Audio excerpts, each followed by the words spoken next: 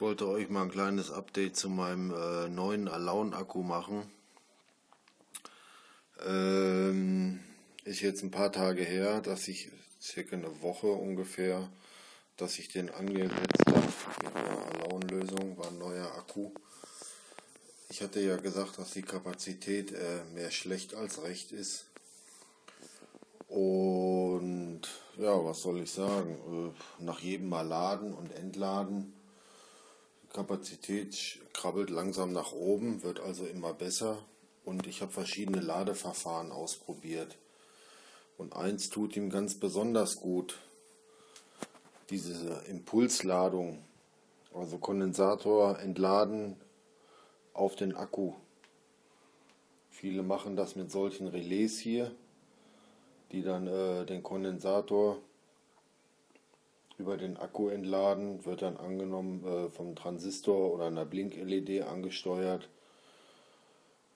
Äh, das habe ich herausgefunden, dass das dem Akku ganz besonders gut tut. Und äh, es haben ja nicht alle so ein Relais zu Hause oder kennen sich mit Transistoren aus, wie sie sowas im Takt ansteuern.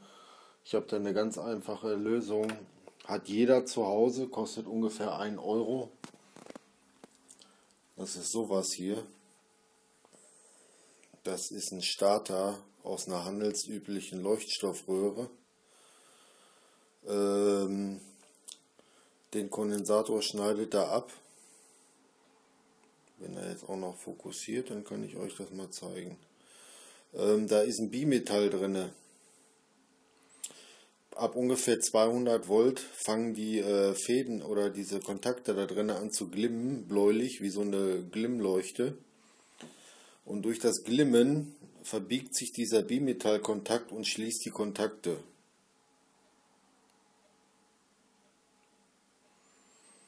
Und dadurch haben wir auch äh, eine Entladung des Kondensators auf den Akku. Ist alles vereint in einem Bauteil. Man muss nur,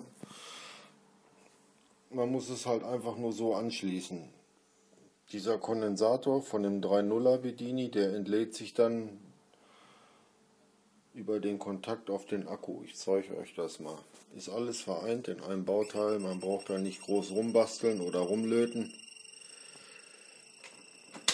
Jetzt fängt er hier an zu leuchten. Wenn er warm ist, dann schließt er den Kontakt und äh, der Kondensator hier entlädt sich dann über den Akku.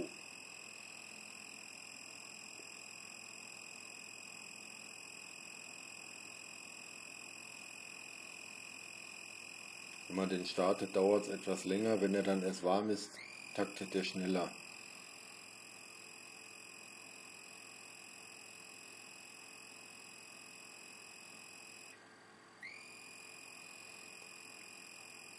Solange er hier hell leuchtet, lädt sich der Kondensator auf. Wenn er geschlossen ist, arbeitet er halt als ganz normaler 3.0er. Nur er hat äh, den Vorteil, es wird halt getaktet. Der lädt sich auf ungefähr, was nicht, ungefähr 200 Volt lädt er auf und dann Kondensator entlädt sich über den Akku.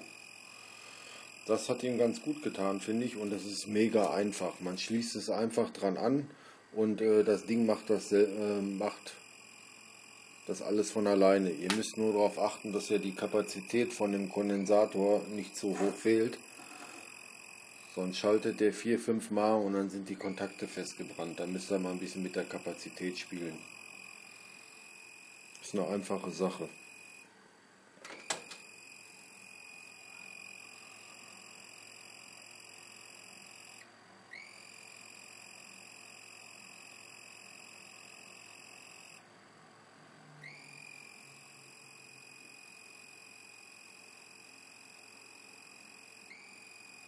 kurva.